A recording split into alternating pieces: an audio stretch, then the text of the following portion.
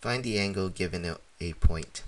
In this problem, we are to find the angle formed by the positive side of the x-axis formed by a point 4 comma negative 5. So the first thing you want to do is you want to draw and identify the angle. So we're going to plot our point first, 4, negative 5. Then we're going to draw our line. Then this is the angle that we are going to be looking for because it's the angle formed by the x-axis.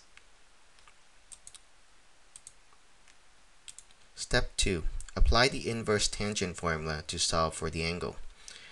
So to find this angle, we can use the formula of the inverse tangent of the opposite over the adjacent.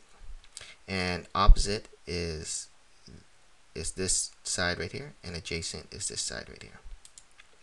So in that case, the opposite is negative 5 and the adjacent is 4. Then we take the inverse tangent of that and that gets us 51.34. Step 3, round your answer. In this problem, they want you to round to the nearest 10. So we simply round it to the nearest tenth and this completes our problem.